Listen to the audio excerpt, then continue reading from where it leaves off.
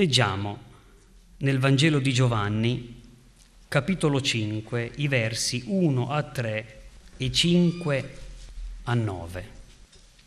Dopo queste cose ci fu una festa dei giudei e Gesù salì a Gerusalemme.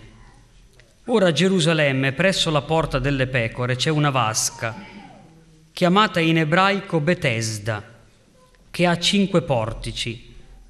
Sotto questi portici giaceva un gran numero di infermi, di ciechi, di zoppi, di paralitici.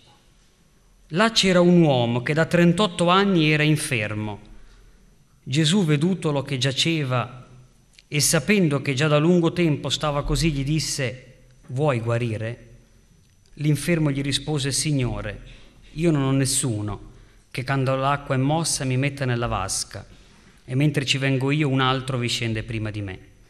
Gesù gli disse, alzati, prendi il tuo lettuccio e cammina. In quell'istante quell'uomo fu guarito e preso il suo lettuccio si mise a camminare. Quando Gesù gli chiese se voleva guarire, quell'uomo rispose io non ho nessuno. Una dichiarazione che esprime un sentimento di bisogno, di solitudine, di un uomo che ormai da 38 anni viveva una situazione di grande sofferenza e dolore. Era solo in mezzo a tanta gente, era escluso forse un emarginato. E ciò aveva fatto maturare appunto in questo uomo eh, sentimenti negativi. Il pensiero che aveva ormai riempito il suo cuore da questa affermazione, eh, lo scorgiamo, era io sono rimasto solo, io non ho qualcuno con cui confidarmi, nessuno comprende veramente il mio dolore, nessuno può aiutarmi. Tutti cercano di evitarmi, di oltrepassarmi. C'è un, una, un netto contrasto in questo episodio, in questa scena che abbiamo letto qui nel Vangelo. È un giorno di festa, è un giorno di gioia, dove i giudei salivano appunto a Gerusalemme per rallegrarsi, per far festa, ma distanti a pochi metri, a pochi forse isolati, c'era un luogo, questo portico, dove vi giacevano tanti infermi, tanti malati, tante persone sole, tante persone forse abbandonate, eh, qualcosa che contrastava forse con il clima attorno a loro. Quante volte e quante situazioni ti hanno fatto esclamare nella tua vita io non ho nessuno? Forse proprio in questo momento stai dicendo ma io non ho nessuno che può aiutarmi, io non ho nessuno che comprende quello che è nel mio cuore. Ebbene, se invece di focalizzare l'attenzione in questo momento solo su quest'uomo, noi allarghiamo un po' l'obiettivo, scorgiamo che in quel luogo c'è Gesù, è presente, è presente e si avvicina proprio a quell'uomo in quel luogo, in quell'istante. E questa, in questo momento Gesù si sta avvicinando a te, lo fa per mezzo della sua parola. In questo momento il Signore ti sta eh, rivolgendo un invito e si sta accostando al tuo cuore e lo fa per mezzo della sua santa parola, il Vangelo, la buona novella di speranza, di salvezza. E Gesù si avvicinò a quell'uomo e notiamo subito che Gesù aveva visto il suo cuore, quello che altri non riuscivano a vedere, quello che altri non scorgevano in questo uomo, ebbene Gesù lo aveva visto, lo dice il testo, Gesù aveva visto quell'uomo o forse qualcuno potrebbe dire Gesù aveva visto fisicamente, esteriormente quest'uomo, ma noi sappiamo che Gesù è colui che non solo vede esteriormente, ma egli vede nel tuo cuore.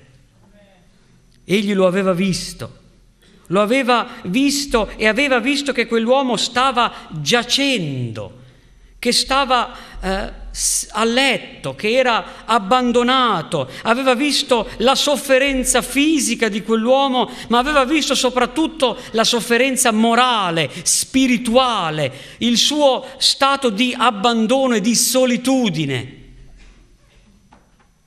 Può in questo mondo così a volte frenetico qualcuno vivere nella solitudine? Ebbene, io credo proprio di sì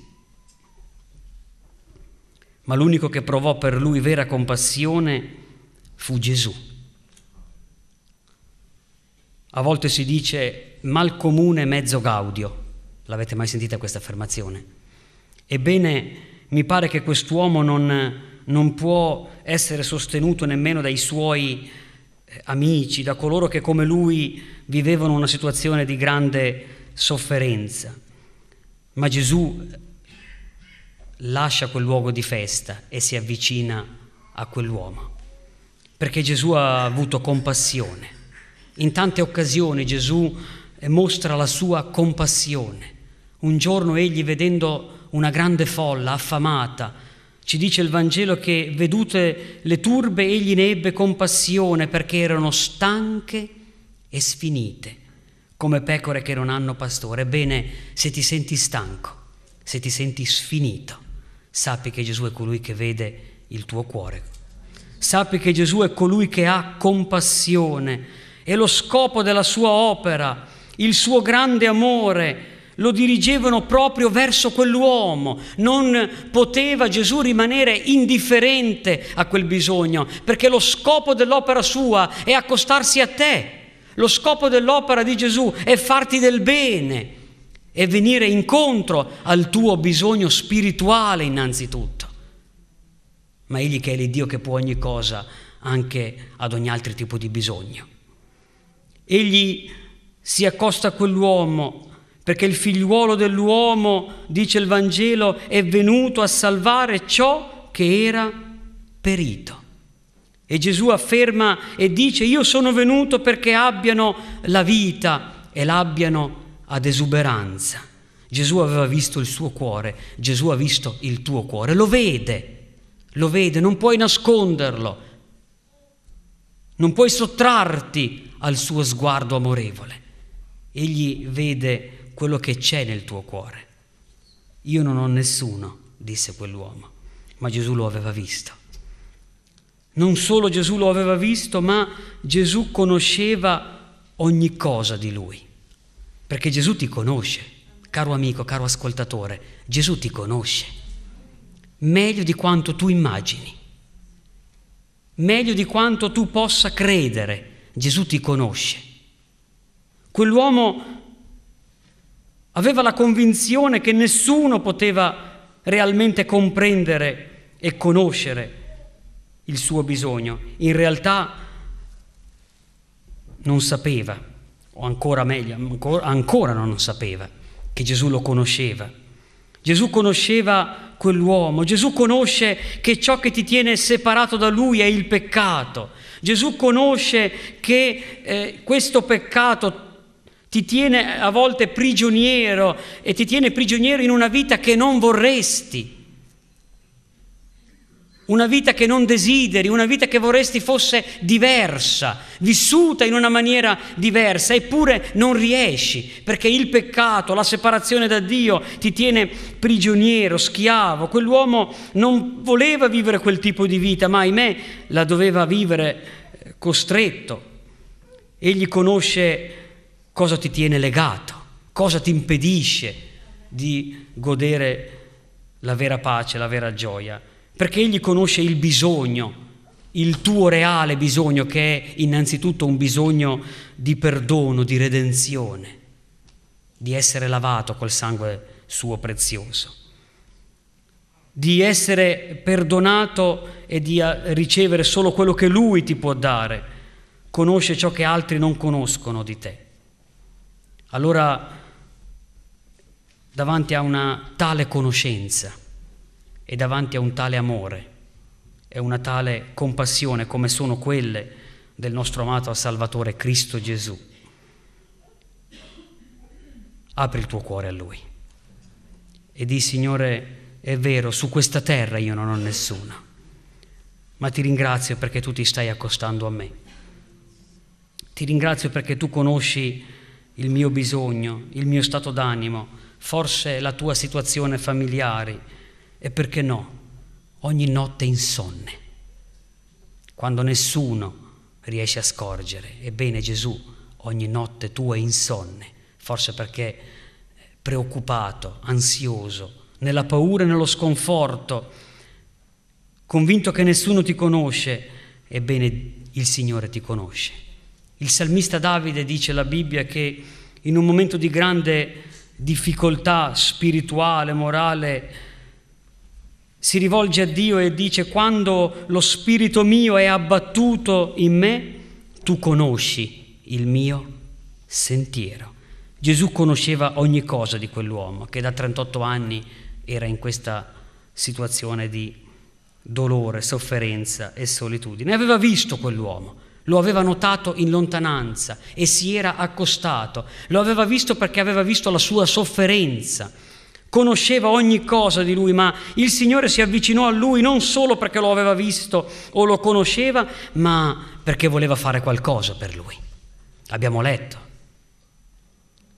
Perché lo scopo di Gesù non è accostarsi a te solo perché ti conosce, ma Egli vuole intervenire nella tua vita, vuole operare nella tua vita. Il Signore desidera mettere eh, mani, se mi passate l'espressione, nella tua vita, nel tuo cuore. Egli vuole operare e farti del bene. Vuoi che il Signore ti faccia del bene? Voleva donargli una nuova vita. Lo notiamo dalla domanda che Gesù rivolge a quell'uomo. Vuoi guarire? Vuoi, caro ascoltatore, una nuova vita? Guarire quell'uomo, ricevere la guarigione del corpo per quell'uomo significava ottenere una nuova vita. Finalmente basta uh, con l'andare sempre in quel luogo, basta chiedere elemosine, basta sperare nell'aiuto di un uomo, di qualcuno, era una nuova vita quello che Gesù gli stava proponendo. Quello che Gesù gli stava offrendo era una nuova vita, completamente diversa, più bella, più gloriosa, con uno scopo. Ecco quello che ti vuole offrire il Signore in questo momento, una nuova vita, una vita con Lui. Voleva risvegliare nel cuore di questo uomo deluso la speranza nel Signore. Forse puoi essere arrivato anche al punto di aver perso ogni speranza nell'uomo, nella società, forse anche nella religione, nella politica, non, non ha importanza. Quello che il Signore vuole fare è che la tua speranza invece sia posta in Lui. Egli vuole ravvivare la tua speranza perché la vuole che tu la riponi nel suo nome. Se tutti ti hanno deluso, poni fede nel Signore.